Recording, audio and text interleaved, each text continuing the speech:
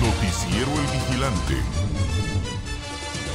Motorista pierde la vida en accidente. A continuación tenemos la información.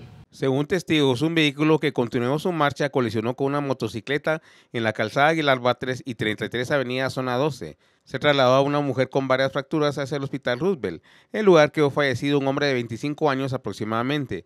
La mujer fue identificada como Catherine Yulisa Rax Chuf, de 21 años, mientras que el fallecido fue identificado como Fernando Ishil Sholom. Noticiero El Vigilante.